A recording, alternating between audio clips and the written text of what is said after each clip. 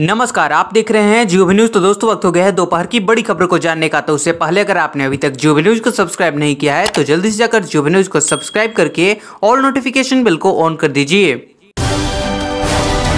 मालदीव के विदेश मंत्री अब्दुल्ला शाहिद का बड़ा बयान, कहा, सीएए और 370 पर दूसरे देशों को नहीं करना चाहिए दखल।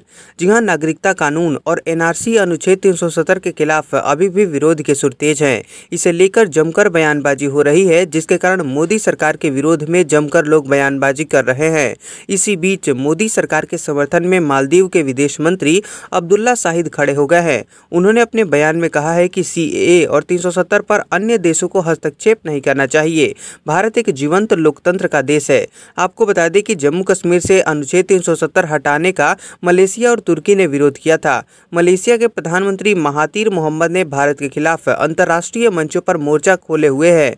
वहीं दूसरी तरफ़ पाकिस्तान भी इसे मुद्दा बनाकर पूरी दुनिया के सामने राग अलाप रहा है। अमेजोन के निवेश पर बोले पीयूष गोयल, कहा, भारत पर नहीं किया कोई एहसान। जी हाँ, केंद्रीय वाणिज्य एवं उद्योग मंत्री पीयूष गोयल ने बृहस्पतिवार को कहा कि अमेजोन भारत में निवेश कर कोई उसका एहसान नहीं कर रही। उन्होंने यह भी सवाल उठाया कि ऑनलाइन कारोबार मंच उपलब्ध कराने वाली कंपनी अगर दूसरों का बाज़ार बिगाड़ने वाली मूल्य नीति पर नहीं चल रही है तो उसे इतना बड़ा घाटा कैसे हो सकता है? दुनिया के सबसे अमीर व्यक्ति जेफ बेजोस ने भारत में एक अरब डॉलर के निवेश की घोषणा के एक दिन बाद पीयूष गोयल ने ये बातें कही हैं। उन्होंने कहा कि ई कॉमर्स कंपनियों को भारतीय नियमों का पालन करना चाहिए।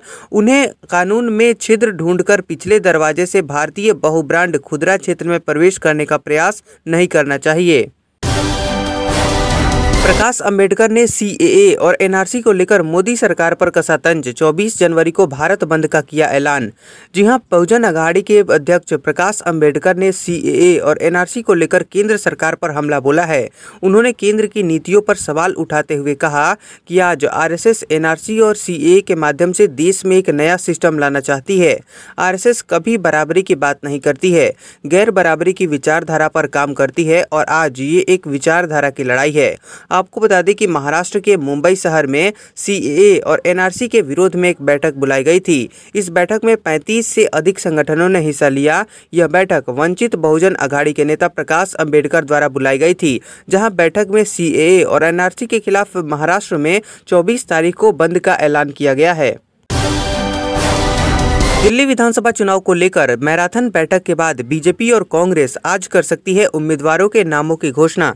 जी हाँ, दिल्ली विधानसभा चुनाव को लेकर कांग्रेस और भारतीय जनता पार्टी के उम्मीदवारों की सूची शुक्रवार को जारी हो सकती है।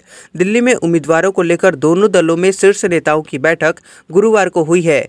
बीजेपी दफ्तर में देर रात तक केंद्रीय कमेटी की बैठक हुई। इस बैठक में प्रधानमंत्री नरेंद्र मोदी, राष्ट्रीय अध्यक्ष अमित शाह और राष्ट्रीय कार्यकारी अध्यक्ष जेपी नड्डा सहित कई लोग शामिल थे। इससे पहले पहले कांग्रेस पार्टी की भी अहम बैठक हुई। कहा जा रहा है कि बैठक में उम्मीदवारों के नामों पर कोई अंतिम फैसला नहीं हो पाया है। अब राज्य के नेताओं का कहना है कि शुक्रवार को दोपहर के बाद कांग्रेस की सूची जारी हो सकती है। सूत्रों की माने तो कई सीटों पर नामों को लेकर अभी अंतिम फैसला नहीं हो पाया है। राहुल गांधी ने कहा, दविंदर सिंह को कौन दे रहा था संरक्षण? मामले पर पीएम और गृह मंत्री खामोश क्यों?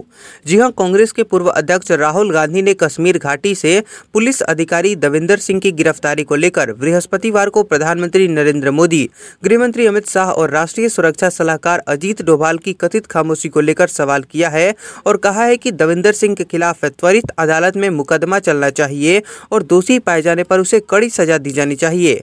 राहुल गांधी ने यह भी सवाल किया। किया कि दविंदर सिंह की पुलवामा हमले में क्या भूमिका थी और उसे किसका संरक्षण मिल रहा था। उन्होंने ट्वीट कर कहा कि डीएसपी दविंदर सिंह ने अपने घर पर तीन ऐसे आतंकवादियों को अपने घरों में पनाह दी थी और उन्हें दिल्ली ले जाते हुए पकड़ा गया था, जिनके हाथों में भारतीय नागरिकों के खून लगा हुआ है।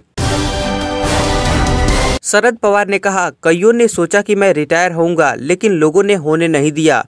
जी हाँ महाराष्ट्र की शिवसेना, एनसीपी और कांग्रेस गठबंधन सरकार के मुख्य रणनीतिकार माने जाने वाले एनसीपी प्रमुख शरद पवार ने गुरुवार को कहा कि यद्यपि अनेक लोगों ने सोचा कि वह सक्रिय राजनीति से सेवानिवृत्त हो जाएँगे, लेकिन राज्य के लोगों, खासकर युवाओं ने ऐसा होने नहीं दिया। वह अपने गृह क्षेत्र बारामती में कृषि विज्ञान केंद्र में कृषि प्रदर्शनी के उद्घाटन अवसर पर बोल रहे थे। इस दौरान मुख्यमंत्री उद्धव ठाकरे भी मौजूद थे। पवार ने अपना भाषण शुरू करने से पहले ठाकरे और उप मुख्यमंत्री अजीत पवार ने पुष्प गुच्छ देकर उनका स्वागत किया।